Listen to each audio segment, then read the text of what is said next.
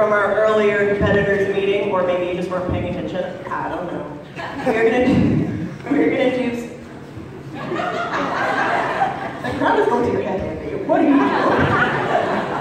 All right, so we are gonna do spotlights. You will get eight eights each time out. You will go out four times. If you have the number, you will leave the first and the second time you go out. Then, the third and the fourth time, the non-numbered competitor will lead.